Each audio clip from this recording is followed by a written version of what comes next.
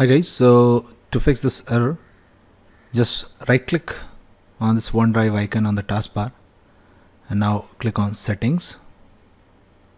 Now click on unlink this PC in the account tab click on unlink this PC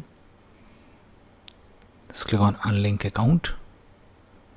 After that just enter your email address okay and sign it again okay and enter your password. So in this way the problem will be fixed. If this does not get fixed there is one more thing which you can do and that is search cmd in the windows 10 search box. Right click on the command prompt search result icon click on run as administrator. Now once the command prompt window opens up you have to run these two commands one by one. Okay?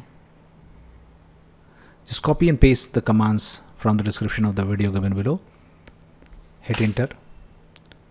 And after that copy this command and hit enter okay? In this way the OneDrive will be reset and your problem will be fixed. That's it guys. Please do like the video to support